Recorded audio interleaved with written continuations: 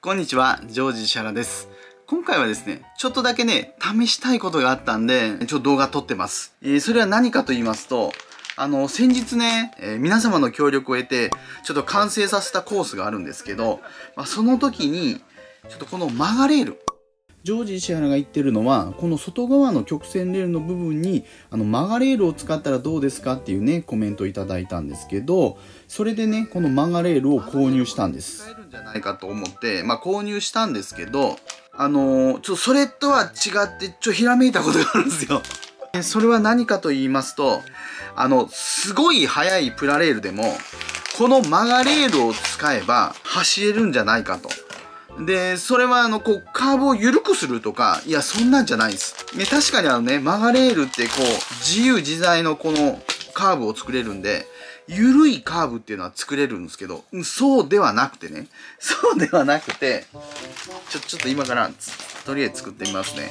これ多分ね、2つぐらい曲がレールがあったらできると思うんですけど、あひょっとしたら誰かもう動画にしてるかもしれないですけどね。ごめんなさい、YouTube とか全然調べてないんで、えなんとも言えないんですけど、とりあえずね、私が思いついたのは、カチャッと2つつないぐらいつないで、これをこう、5、5、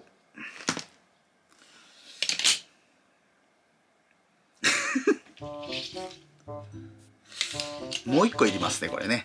実はもう一個購入してて、これで、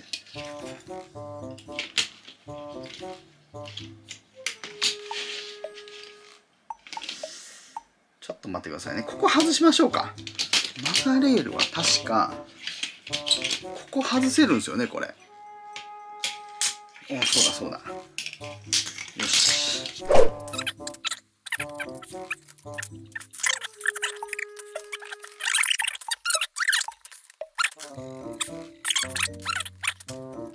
お、これでいいんじゃない？よしこれわかります？これです。ちょっとね、バンクついてるでしょ短くつなげれば、ちょっとバンクつくんで、これぐらいの角度で見ると、ちょっとバンクがついてるんですよ。ね。これだったらね、すごい速いプラレールでも、これもう脱線せずに走れるんじゃないかと思ったんです。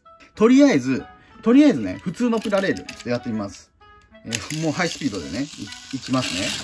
行くと、まあこんな感じ、いい感じで走れてるじゃないですか。まあこんな感じで、やっぱ結構なバンクついてますよね、これ。あ、これはいけんじゃない？はい。ということで、普通のコースではまあギリギリ走れる。この E5 系新幹線はやぶさスーパースピードシャーシのモーターはハイパーダッシュ3モーターのこちらをとりあえず試してみます。じゃあ行きますね。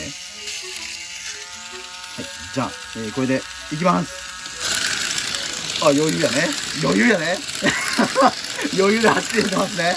よしよし。よしよし。ちょっと今。ちょっと待って。場所狭いわ、ここ。ちょっと広いとこ行きます、これ。じゃあね、ちょっとここでやってみたいと思います。じゃあ次はね、こちらです。これはね、L0 系リニアのスーパースピードシャーシ搭載のモデルになってて、で、モーターはスプリントダッシュモーター。めちゃめちゃ速いんですよ。もう通常のレールでは結構脱線するんですけど、これいけたらすごいっすよね。ということでちょっと行ってみます。じゃあもうハイスピードで いきますね。お いけるね走れるねおおいやかなり余裕じゃないですか。スピードはもう相当速いけど余裕っすね。余裕で走れてる。よし。じゃあじゃあね、もう、普通のレールじゃもう絶対走れない、ギアをなんか接着剤でつけて、もうめちゃくちゃ速くした改造。モーターもこれウルトラダッシュモーターにしてあったと思います。じゃあこれで、行きたいと思います。とりあえずロースピードで行きますね。うん、とりあえずロースピードで行きます。これは、やばいと思うんで、行きます。これは無理か。行きます。これは無理か。これは無理か。ですよね。じゃ、ちょっとね、これ、さらに角度を、ちょっと、バンクの角度上げてみたいと思います。多分2個ぐらい、2個抜いたら無理かな ?1 個。1個外して、つけたら、お、いったいった。さらに角度は増したんで、この角度は。いけるかなちょっともう一回。はあ、あ、今のは違う。いやいやいやいや、ちょっとどこ入っていった？もう一個外しましょうか。ね。もう、もう2個ぐらいいっとこう。これででもつけれんのギリっぽいっすよ。うわ、もうこれだいぶきついよ。だいぶバンクついてますもん。これなら、いや、これならすごいっすよ。なかなかの、なかなかのバンク角度。これだったらいけるでしょう。じゃあこれでいきます。じゃあロースピードで。はおーしいじゃあロースピードで。はおーしい。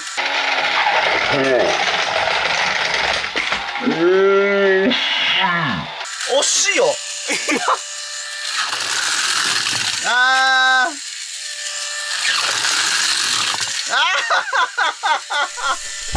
ー。で、今度は逆に曲がレールを長くしてみて、そして手でね、強引にこの角度をつけてやったら走れんじゃないかなと思って、何度も何度もチャレンジして、うまくいった奇跡の1回です。いけたよ よし。じゃあ最後はちっちゃいやつで。もう遅くはないけど、早いのは早いけど、なんかね、なんかすごいね、でもこれ。すごいこれ。そしてこれ多分持てますよ。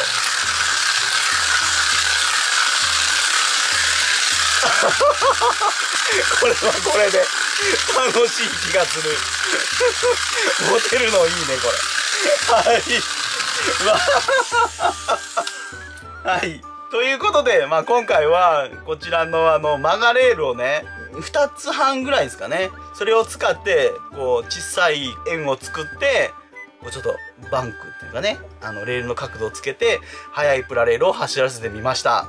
まあなかなか面白かったので、もしね、何かあのマガレールでいいアイデアありましたら、あのコメント欄で教えてください。いや、このマガレールはね、結構いろんな可能性ありそうなんで、まあ常時したらもうちょっとね、また面白いレイアウト思いついたら動画にしてみたいなと思います。ということで、まあ今回はこれで終わりたいと思います。ありがとうございました。